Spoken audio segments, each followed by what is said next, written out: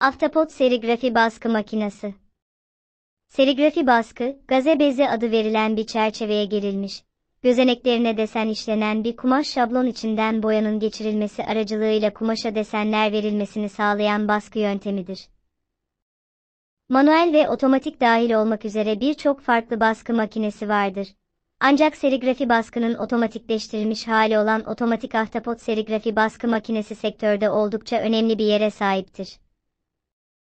Birden fazla desen içeren karmaşık renkli baskılar için, ahtapot baskı makinesi, değişik renkleri olan farklı desenleri hızlı bir şekilde arka arkaya uygulamak için kullanılır.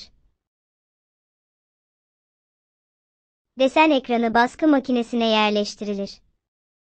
Basılacak giysi, ekranın altındaki baskı tahtasının üzerine düz bir şekilde serilir. Ekran, baskı tahtasının üzerine indirilir. Ekranın üstüne baskı patı eklenir ve patı, gaze bezi boyunca çekmek için bir rakle kullanılır. Bu hareket, boyayı şablonun açık alanlarından geçirerek istenen deseni altındaki ürüne basar. Şablon birden fazla renkli öğe içeriyorsa, kol kaldırılır ve baskı tahtasına yeni bir giysi yerleştirilir.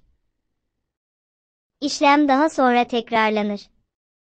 Basılmış tekstil ürünü daha sonra boyayı sabitleştiren ve pürüzsüz, solmaz bir yüzey oluşturan özel bir kurutma işleminden geçer. Bu işlemin ardından ürün, herhangi bir kalıntı kalmaması için kontrol edilir ve paketlenir.